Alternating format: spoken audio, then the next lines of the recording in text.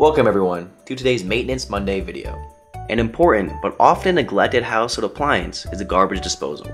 After washing dishes, pour a little dish soap down the drain and run the garbage disposal for a minute or so with cold water running. The disposal should be cleaned every two weeks. Frequent use prevents rust and corrosion, ensures all parts remain moving, and prevents obstructions from accumulating.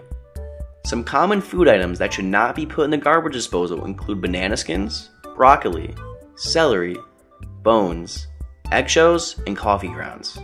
When you're putting food down the disposal, make sure to have cold water running to help carry the food items down into the blades and through the drain pipes. Citrus, which you can get from lemon or limes, is an effective garbage disposal freshener.